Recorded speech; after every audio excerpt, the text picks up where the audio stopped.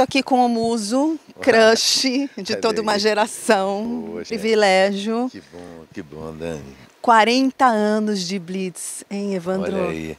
Agora a gente está na turnê sem fim, né? Porque é um maior barato estar na estrada ainda, mostrando coisas que a gente já fez e coisas que a gente anda fazendo. Então isso dá uma. alimenta a alma.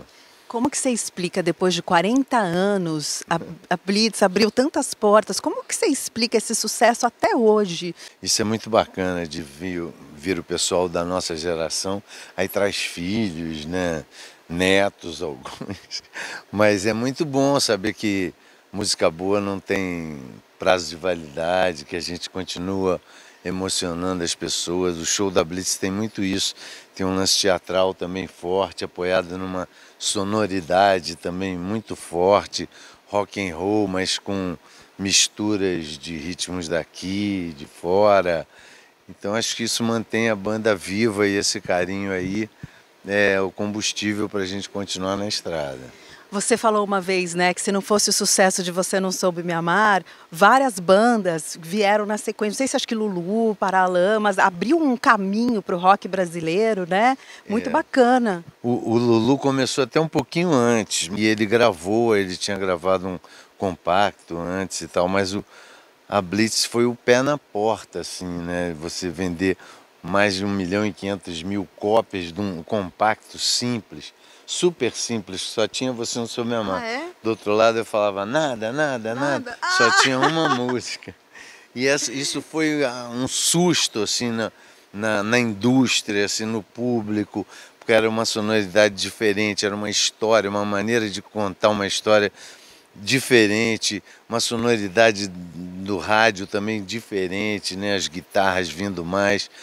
E aí, pô, veio toda uma geração que estava no underground fazendo coisas boas, como né, o Lulu já fazia, mas é, o, o Barão, que a gente começou junto no, no Circo Voador, né? É, e- então foi maneiríssimo. No primeiro disco eu falava, tinha umas vinhetas que eu fazia de brincadeira, assim, para os 30 amigos que eu achava que iam ouvir. Eu falava assim: vocês ouvirão um som que abalará toda uma geração. Um som que marcará uma época. Um som. Eu lembro Aquela- disso. Isso, isso entrou em algum disco, não no foi? primeiro disco, né? Que era a voz daquele cara do Bozano. Aposente esse herói. então eu fazia isso, mas achando que era uma brincadeira super particular. E foi, caiu assim no, no subúrbio, nas boates chiques de Rio e São Paulo. Então foi um começo estrondoso, assim.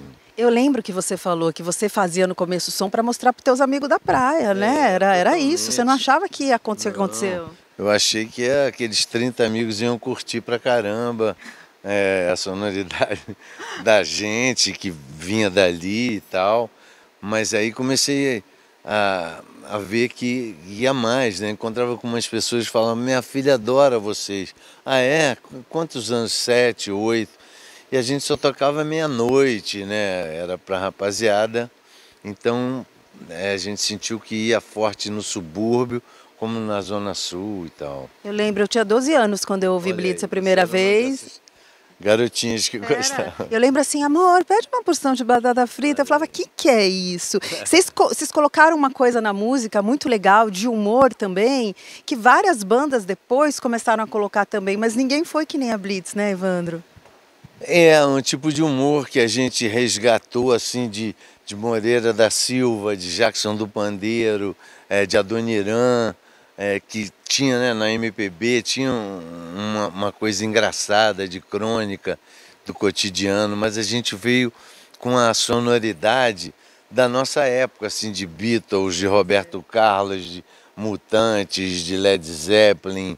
eh, isso tudo foi mixado ali no nosso liquidificador e saiu uma coisa com personalidade própria, assim, né? E é verdade que quem deu o nome de Blitz para a banda foi o Lobão?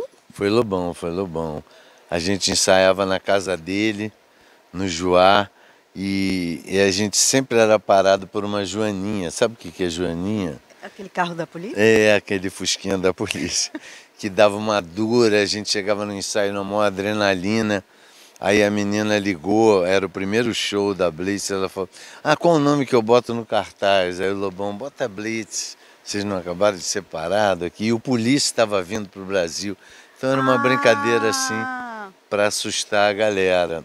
Deu certo, né? Poxa, super certo. Mas o Lobão saiu, vocês rolou uma briga, não foi? Da capa da Isto É, depois, não? É, uma fofoquinha assim, mas o Lobão, ele, ele tava com a gente, gravou o primeiro disco todo. Tá e estava com um trabalho já solo. É, e tinha um cara, tinha um cara que estava bancando o disco dele. Então era uma oportunidade. Ele viu que a gente estava indo bem pra caramba, ele não quis perder essa oportunidade, natural. Certo. Aí gravou o disco dele também fez sucesso, né? E, e, pô, eu, eu só tenho gratidão. Achei que o Lobão foi muito maneiro, cedeu a casa, é, tocou com a gente pra caramba. Legal. Então foi demais. Vocês se falam ainda? Vocês têm contato? A, a, gente tem um contato leve, assim, né? Correria, ele mora em São Paulo, é, mas ele já deu canja num show nosso, acho que até aqui, não foi? Foi aqui mesmo. É, mas ele está com o trabalho dele, né? É, ele é divertidíssimo. Ele foi na rádio, ele contou várias oh. histórias de quando ele foi preso, das coisas que ele ensinou para os presos, de, de, gravação de vida bandida. Olha. Ele é sensacional. É, ele tem um, um lance bem legal mesmo.